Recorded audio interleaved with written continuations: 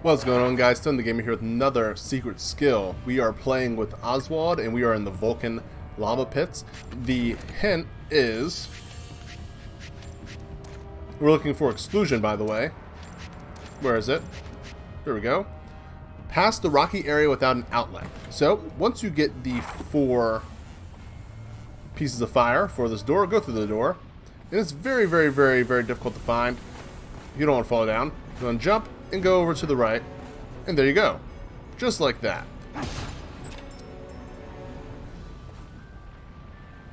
That's a tough one, though. Seriously, like, how even, how even do that? It's nuts. That is one of the only stages, though, without an exit, so it, just jumping around is, is how you find that, but oh my god. A lot of time, for sure. And we have Exclusion. This nullifies damage from foes for a time. Not bad. Not bad at all. Oh, we get a trophy too. Excellent. But guys, hey, that is the last secret skill for Oswald. If you did enjoy the video, click the like button. Make sure you hit that subscribe button if you want more content like this. I'll see you guys in Velvet Story. Later, y'all.